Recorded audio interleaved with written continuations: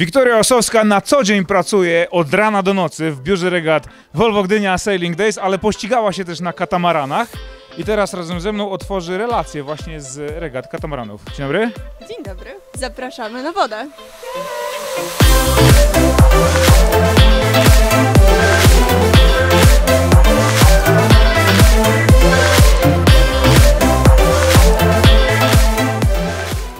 W ramach Volvo Gdynia Sailing Days Mega zajęty, wiesz? odbywa się, nie jesteś tam zajęty, odbywa się też Puchar Volvo Gdynia Sailing Days. A tutaj e, złapałem organizatora regat Nordcup, który przyjechał tutaj popatrzeć się... A, i co to jest? To jest top secret. Top secret, tajna broń.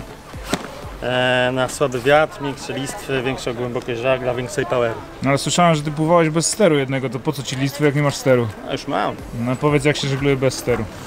E, wiesz co, bardzo ciekawe doświadczenie to było. Postanowiłem po, po tej awarii zostać na wodzie, trochę jeszcze potrenować sobie starty, bo akurat miałem ster, który mi umożliwiał bezpieczny start na prawym halsie. E, i, I o tyle to było ciekawe, że, e, że jakby przez to, że masz mniejszą kontrolę nad łódką, też widziałem jakie są obciążenia na tych sterach i, i krótko mówiąc dało mi to do myślenia, że czasami może powinienem trochę bardziej panować nad mocą na łódce, a nie używać steru tak mocno, nie? No słuchaj, no nazywam się Sewery, no a co robię? No pływam, żagluję tutaj z moimi kumplami. Okej, ale przed chwilą powiedziałeś, że jesteś dziadkiem, to jak No, żeglujesz na to przesadziłem. Wiekowo jestem dziadkiem, ale tak naprawdę jestem świeżym ojcem. Mam synka półto, półrocznego, no i oczywiście czworo pozostałych dzieci. I żona się tak zgadza na, na, na, na takie e, hop, hopsztosy, na takiej łódce? No, ma pewne zastrzeżenia, ale jest zawsze argumentacja odpowiednio podana na talerzu, no i żona w takim układzie już się zgadza. Negocjacje. Negocjacje oczywiście. Zobaczmy, jak ci się żeglowało.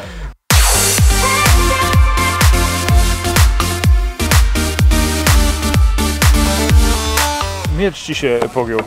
Wiesz co, to nie mój miecz, to akurat jest tego starszego pana. Przepraszam, Tego a tu tam- na słońcu nie należy tego zostawiać, bo się to gnie straszliwie. Dzięki Bogu się do pary. On ma, on ma, y, kolega ma, naj, na, ma najnowszy model mieczy, tak? To jest najnowszy czy nie? Tak, najnowszy. Super, super. Yy, Dementi numer dwa w dzisiejszym dniu to jest celowo tak zrobione dla wszystkich nieżeglarzy. To tak ma wyglądać, to się nie pogięło. Puchar Volvo Gdynia Sailing Days, a na katamaranie ściga się trener kadry narodowej w klasie 49er olimpijskiej. Yy, Czy pan ma aspiracje trochę podgonić zawodników swoich, panie Pawle? Paweł Kacprowski, by the way. Nie, robię to dla siebie, dla przyjemności, dla frajdy. I żeby nie mogli powiedzieć, że trener się nie zna, bo nie żegluje. Tak, ścigaliśmy się w dość mocnych warunkach, bo wiatr dochodził do 20 węzłów. To są moje drugie regaty. Pierwsze regaty były takim przetarciem, te są też, no, cały czas się uczę.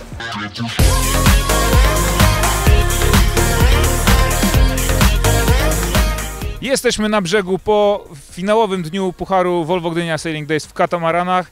Zwycięzca regat Jakub Surowiec i trzeci Tymoteusz Tymek Bendyk. Yy, najpierw zwycięzca, proszę powiedzieć na szybko, yy, jak się żeglowało. E, Mamy za sobą trzy dni regat. Pierwszego dnia wiało trochę mocniej, w super warunki, polataliśmy. E, Drugiego dnia mieliśmy kłopot z rozegraniem wyścigów.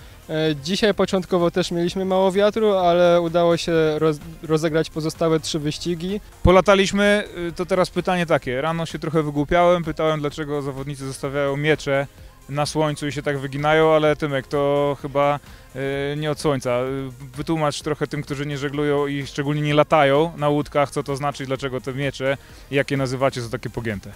E, Te miecze nazywamy foilami e, i one są powyginane oryginalnie, bo e, A-klasa jest jedną z niewielu klas, które latają ponad wodą i żeby łódka mogła polecieć potrzebuje poziomej powierzchni pod wodą. No i te miecze są pokrzywione tak, żeby po prostu pozwoliły łódce wylecieć nad wodę i osiągać jeszcze większe prędkości.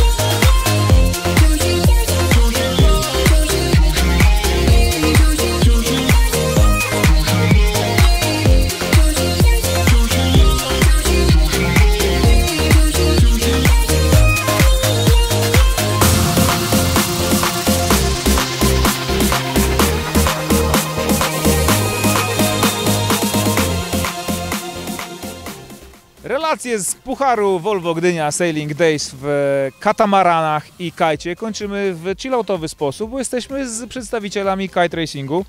Julka Adamasiewicz i Kuba Jurkowski. U was na plaży to jest delikatnie, prawda? Nie taka spina jak w e, kołnierzyki. Nosicie, ładne. Julia? Jednak kołnierzyki potrzebne. Trochę stylu trzeba mieć. No brawo, Kuba, zgadzasz się? Tak, zgadzam się.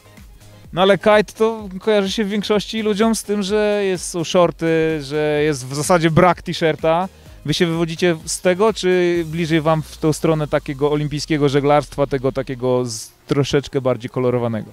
To kite jednak wywodzi się od tego, że jest, e, że jest częścią surfingu. Coraz bardziej zbliżamy się do tego, że jest to żeglarstwo, coraz bardziej przyzwyczajamy się do tego, że jednak jesteśmy żeglarzami, ale jednak w sercu cały czas mamy shorty. No to pięknie. W takim razie powiedzcie jeszcze tylko, e, jakie plany? Czy igrzyska są w waszym sercu? Są w twoim sercu igrzyska? Tak, e, no taki długodystansowy plan to jest wystartować w igrzyskach, no ale to na razie tutaj po zawodach jeździć i starać się jak najbardziej. No i pięknie, wygrałeś w zasadzie wszystko, co mogłeś wygrać w tych zawodach, w kilku różnych kategoriach. Gratuluję Wam serdecznie. E, Zazdroszczę trochę tych Waszych prędkości. Zobaczymy e, na filmie, jak to pięknie wygląda.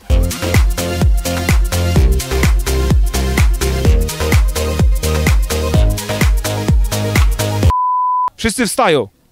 Wiecie dlaczego? Bo w relacji z Volvo Gdynia Sailing Days okazuje się, że w TV trzeba stanąć i stać. Uwaga.